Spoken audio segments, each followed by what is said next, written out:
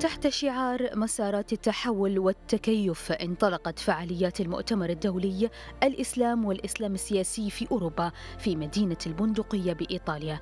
المؤتمر الذي عقد على مدار يومين شارك فيه نخبة من الأكاديميين والباحثين المختصين من أوروبا والعالم العربي والولايات المتحدة الأمريكية حيث يهدف المؤتمر إلى قراءة واقع المسلمين في أوروبا عبر جلسات نقاشية تمحورت مواضيعها حول الوقوف الوقوف على التحديات التي تواجه الساحة الإسلامية في أوروبا ولا سيما في الوقت الراهن التي تعاني فيه المنطقة من ظاهرة التطرف الديني. إذ حذر المؤتمر من خطر الجماعات الإرهابية وتنظيمات التطرف التي تدعمها الحكومة القطرية وتشكل حاضنة للجماعات الإرهابية في أوروبا. وركز المؤتمر على جماعة الإخوان أهم تنظيمات الإسلام السياسي المرتبطة بقطر والممولة منها.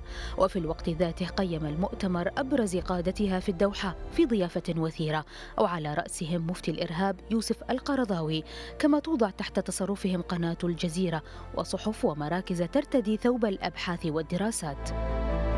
أن الذين استفادوا من ثورات الربيع العربي إنما هي تيارات الإسلام السياسي التي تعيد آه، الحالة العربية إلى آه، عهد سابق عوض أن تدفع بها نحو استشراف مستقبل أكثر إنسانية أكثر انفتاح على القيم الكونية. وربما هذا المؤتمر هو مساهمة خصوصا في الفضاء الأوروبي من أجل التمييز بين شكلين آه، شكل طغى وربما ليس هو الذي يحمل آه، القيم الكونية للإسلام وشكل ينبغي إبداعه وينبغي التفكير فيه. إشكالية أو مأزم آه، اندماج آه، المسلمين الأوروبيين آه، وهذا الانفصام الذي يبدو غير طبيعي وغير مقبول بين دوائر الانتماء بحيث يجد المسلم نفسه وكأنه في تناقض بين هويته الدينية وبين انتمائه الديني وبين انتمائه إلى دولة أوروبية يحمل جنسيتها. حان الوقت لمناقشة هذه المواضيع بالجرأة المطلوبة بالبرودة والرصانة آه، العلمية الضرورية. إلى جانب ذلك ألقى المؤتمر الضوء على رسم خريطة المؤسسات والمراكز والفاعلين في المشهد الإسلامي الحركي وموقعهم وتأثيرهم على المجال الإسلامي في أوروبا.